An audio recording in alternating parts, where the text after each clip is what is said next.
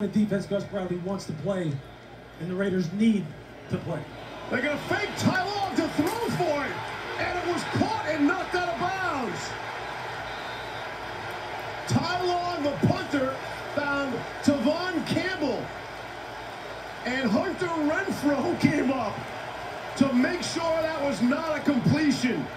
What a play from Hunter Renfrow. He's back deep, trying to, to, to field the punt. He comes out of nowhere, out of center field. He sees it coming. Here he comes up and puts his hat right on the football to prevent the first down. That's a heads-up play from Hunter know, and he saw it even before the ball was snapped. He started creeping down and walking towards it. Absolutely. That's